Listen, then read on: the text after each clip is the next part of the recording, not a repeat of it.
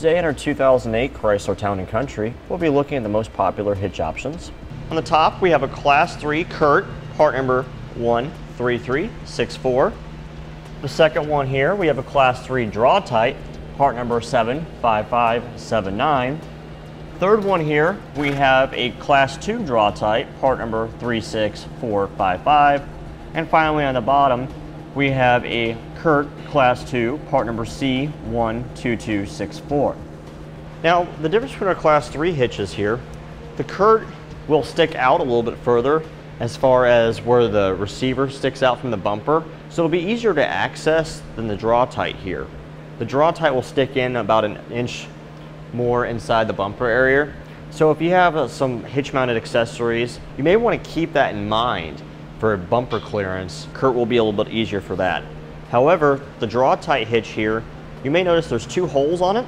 We have our standard 5 8 inch diameter hitch pin hole, and then we have a J-pin stabilization device hole. What a J-pin stabilization device is, if your hitch mounted accessory such as your bike rack or your cargo carrier doesn't have a device built into it already to eliminate the shake and play uh, inside the receiver, the J-pin stabilization device will eliminate that. We have those available separately on our website if you need to purchase one. Now the Draw-Tite hitch, since it is a little bit more recessed, if you're just to be using it occasionally, the Draw-Tite's the way to go for the Class 3 since it's more hidden than the other option of the Curt. But if you want something that's going to be easy to use for an accessory, you need some more clearance, the Curt's the way to go there. Now for the Class 2 hitches here, the Curt's going to stick out a little bit further than the Draw-Tite once again. And they, both these hitches have our standard inch and a quarter opening. They utilize a half inch diameter hitch pin hole instead of the 5 8 that the Class 3s use with their 2 inch opening. The Curt here, we have a 4,000 pound gross trailer weight rating and a 400 pound tongue weight rating. If you were to step up to a weight distribution setup on your trailer, the weight capacity increases to 5,000 pounds and the max tongue weight rating increases to 500 pounds. Obviously, you'll want to consult with your owner's manual of your vehicle to see what it's rated with for all the hitches to make sure that you don't exceed the capacity of the vehicle even if the hitch is rated for a higher mount. Now the Draw-Tite here has a 4,000 pound gross trailer weight rating and a 400 pound max tongue weight rating. Again, like the Curt, if you were to step up to weight distribution, it steps up to 5,000 pounds, max gross trailer weight rating, and 500 pound max tongue weight rating. The Class 2 Draw-Tite here has a 3,500 pound gross trailer weight rating and a 300 pound max tongue weight rating. Weight distribution is not able to be used with this particular hitch. Now, the class 2 Curt here on the bottom has a 3,500 pound gross trailer weight rating and a 350 pound max tongue weight rating. Again, since it's a class 2, we cannot use weight distribution on this particular hitch. Now for all of our hitches here, they all utilize the basic same design of a loop for our safety chain hooks. All about the same. The only difference being uh, is the size on the Curt Class 2 on the bottom. It's a little bit smaller diameter. So if you have a smaller hook opening, it'll go in easier on this versus the other three hitches.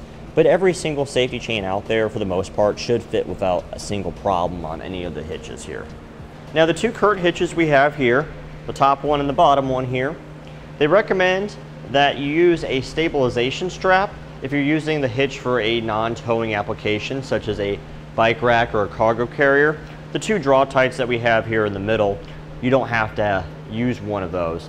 The stabilization strap is available separately on our website. If it was up to me and I'm purchasing a hitch for my vehicle, I would want to go for a class 3 here versus a class 2 on the bottom just because it opens up more options as far as hitch mounted accessories go as far as the bike racks or the cargo carriers there are a lot more options available for two inch receivers than an inch and a quarter receiver. Also you have the higher weight capacity for towing a trailer.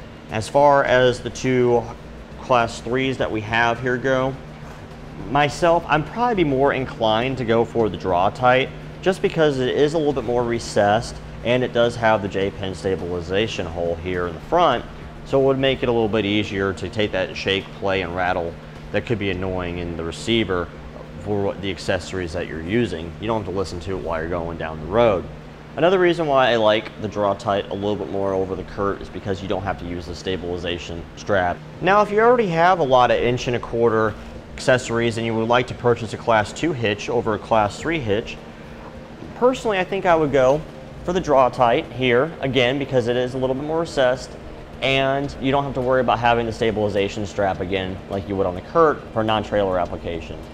And that completes our look at the most popular hitch options on the Chrysler Town & Country.